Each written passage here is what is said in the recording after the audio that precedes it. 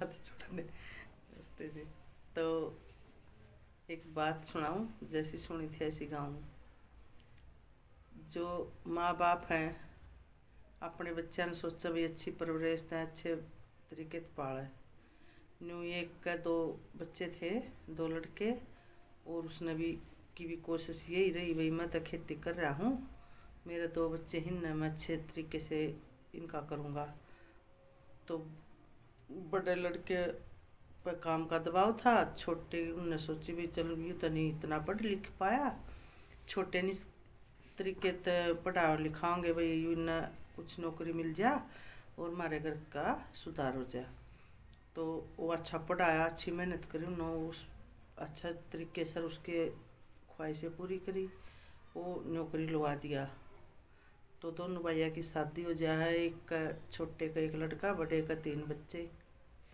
तो माँ बाबू ने भी सोची, भाई, चलो लाले, इसका तो ठीक काम है, सरकारी नौकरी लाग गया और इसका पढ़ी लिखी बहू आ गई और हम बड़े मरल जावा। तो वो बड़े माँ बाबू बड़े में बैठ गए और भाई, छोटा भी घुमंड से हो गया, भाई, मैं तो मेरे तो मैं मैं हूँ आजकल तो सीखा तो उन्हें कहा, भाई, एक जगह तीन किले हैं, एक जगह साढ़े तीन किले हैं। जो साढ़े तीन किले हाँ वो बड़े भाई ने देवा है जो जहाँ तीन किले वह तेरे हो गए।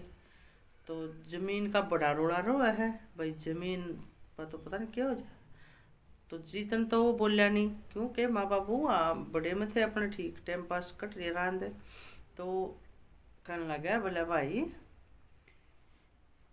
तू तीन किले बो है मैं उड़े तीन किले बो हूँ तू ती, तू साढ़े तीन किले वो है खा भाई। भाई माँ बाबू तो जा लिए।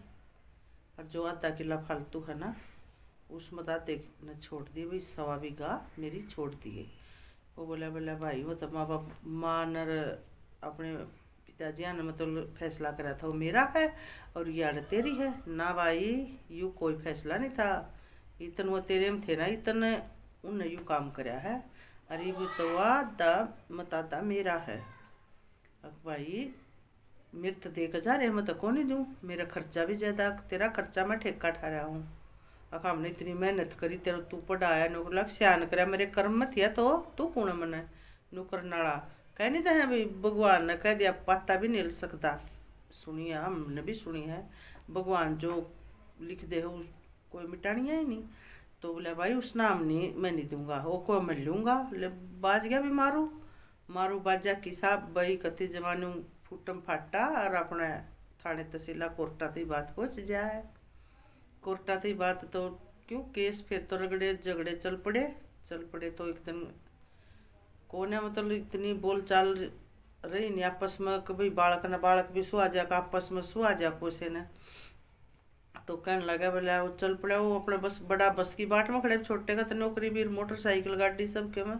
तो मोटरसाइकिल लेकर कर जब दिखान था उसने भाई भाई आ लिया। और इसका तो चादर का यू वो डहापा खेसी की, मार लाले लपेटा, वो तड़े लटका था। तड़ा लटकता उन्हें देखा बड़े भाई ने रहा तो पल्ला लटका, भाई भाई का? और कदे ना इस मोटरसाइकिल में जा, तेरा भाई तड़ा पड़ जा। और पड़ेगा तो मरेगा, क्योंकि सड़क पर सिर लगेगा। तो कहने लगा, अरे, पल्ला लटका है।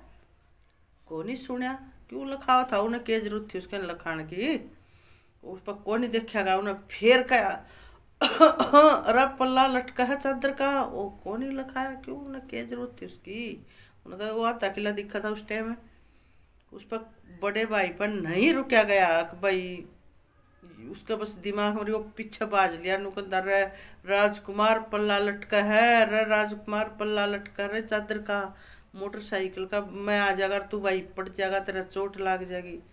तो उन्हें देखा तेरी कर वो लखाया नू चुगरते ने तो देखा हो इतन तो आली वा चादर उसमें ताड़ी में अब भाई आज तो तू मरता आज तो तू ज़रूर मरता ले इसमें या चादर तोड़ ली थी क्योंकि नाड़ का जिस तरह लपेटा लग रहा था उसका तो देखा उसने भी तू ताज कति पक्का मरो तो नहीं कोई बचानिया था उसका बह बैठ गया इतना बह बैठ गया कोई इतना घबरा गया कोई और कुछ नहीं दिखा जाकर अपने भाई के पाया पड़ गया अब भाई तेरा गाथ जोड़ू, तेरे पैर पकड़ू। तू आधे किले की बात क्या है तू आधा किला और ले ले, क्योंकि मतलब मेरी जान है तो जान है। जब आज मैं मरे जाना मुँह साथ देखी ले पर कुकर अडास लाए बैठा हूँ। मैं कौन हूँ साधे देखी लेने वाला, जिसने माँ बाप दे गए? और बाई चाहे तू है ना, सारी धरती नाम करा ले। आज के बाद मैंने माफ़ कर दे, मैं आज जोड़ उतरिया गया जब तू मेरे पल्ले लटक देने भी नहीं देख सका और मैं कड़ा अड़ा बैठा। ये तो मेरा झूठा अहंकार था, अल्लाह लेके कहते हाँ भाई घमंड था। अक भाई, बस भाई जी सी, भी सुनी भी है कौन भी है हम अपने खुद अपने उस भी बता रहे हैं, भाई जिसी जिसी चीज़ जगत में और दूसरी नहीं है। कहानी का फल पूछूँ, बता दियो, बताना हो तो।